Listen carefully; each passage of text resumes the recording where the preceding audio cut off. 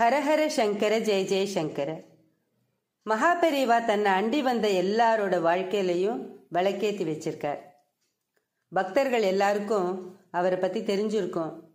தெரியாத சிலருக்காக சில விஷயங்களை பகிர்ந்துக்க ஆசைப்படுறேன். பரமாச்சாரியார் ரொம்ப ரொம்ப எளிமையான வாழ்க்கையை வாழ்ந்திருக்கார். கதர் ஆடையத்தான் அணிவார். ஒரு சின்ன அறையில தான் தங்கியிருப்பார். ஆடம்பரம்ங்கிற வார்த்தையே அவரோட வாழ்க்கையில் கிடையாது. யோகாசனங்களை எல்லாம் கற்று தேர்ந்தவர். குகுடாசன நிலையில ஒரே காலில் நின்றுண்டு ஒரு மணி நேரத்துக்கு மேல உரை நிகழ்த்தக்கூடிய அளவுக்கு அபூர்வ சக்தி அவருக்கு உண்டு. மகாஸ்வாமிகள் பீடத்தில் அமர்ந்த நாள்லேருந்து உணவில் உணவுல புளி உப்பு காரம் இதெல்லாம் சேர்த்துக்கிறதே இல்லை. நெல் பொரியும் பாலும் தான் அவரோட ஆகாரம். குணத்தாலையும் செயல்களாலையும் தப்பு பண்றவாளை பார்த்துட்டா அன்னைக்கு பூரா சாப்பிட மாட்டார். உபவாசம் இருந்துருவார். கல்கத்தால ஒரு மாசம் வில்வப்பழம் மட்டுமே சாப்பிட்டு இருந்திருக்கார். எப்பவும் கமண்டலம் தண்டம் கஷாய வஸ்திரம் இல்லாம இருக்கவே மாட்டார்.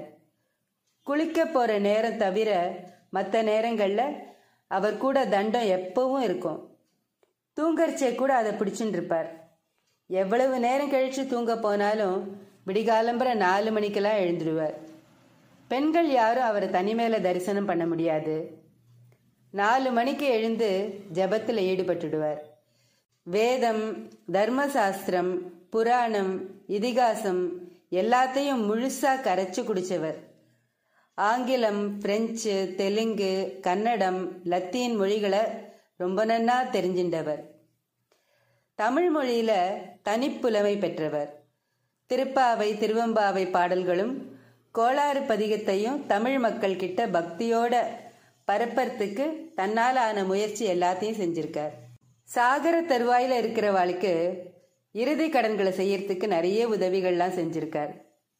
பகட்டு படாடோபம் நடிப்பு விளம்பரம் தந்திரம்னு பல வடிவங்கள்ல இன்னைக்கு ஆன்மீகம் படாத பாடு இருக்கு அந்த மாதிரியான ஒரு சூழ்நிலையில ஆன்மீகத்துக்கும் ஆன்மீக ஞானிக்கும் நல்ல உதாரணமா ஆயிரத்தி தொள்ளாயிரத்தி தொண்ணூத்தி நாலு வரைக்கும் இந்த உலகத்துல ஒரு மா மனிதர் நிறைவான வாழ்க்கையை வாழ்ந்துட்டு போயிருக்கார்.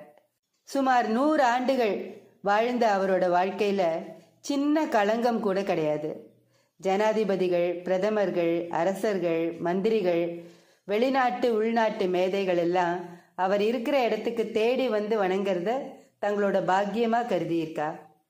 அவர்தான் ஸ்ரீ காஞ்சி காமகோடி பீடத்தோட அறுபத்தெட்டாவது பீடாதிபதியா இருந்த ஸ்ரீ சந்திரசேகரேந்திர சரஸ்வதி சுவாமிகள்.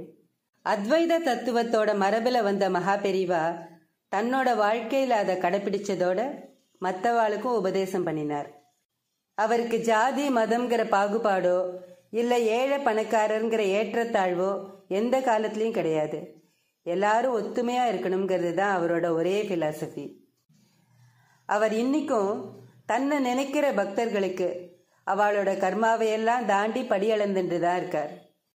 மகான்களை பத்தி பேசினாலோ இல்லை கேட்டாலோ கோடானு கோடி புண்ணியம்னு சொல்லுவா.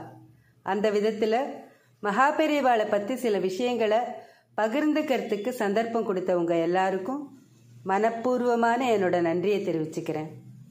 ஸ்ரீ மகாபெரிவா திருவடிகளே சரணம். ஹரஹர சங்கர ஜெய ஜெய சங்கர.